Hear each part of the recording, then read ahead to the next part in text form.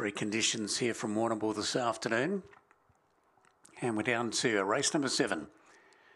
Almost set now. The green light is on. Ready now. Uh, racing away quickly in the middle is Diva Dot going to the front. Winlock Mungo, good speed. Aston Rusto.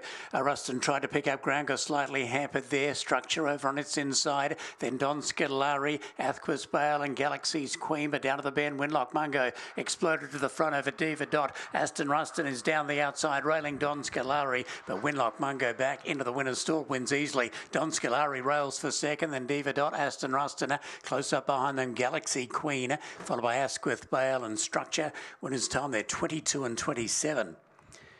22 and uh, 27 so flies along Winlock Mungo. Second out of the uh, traps, but quickly burnt up the front and really hasn't given the others a sniff. 22 and uh, 26 will be the time with the confirmation. 22, 26, 866 first sectional. A run home of 1360.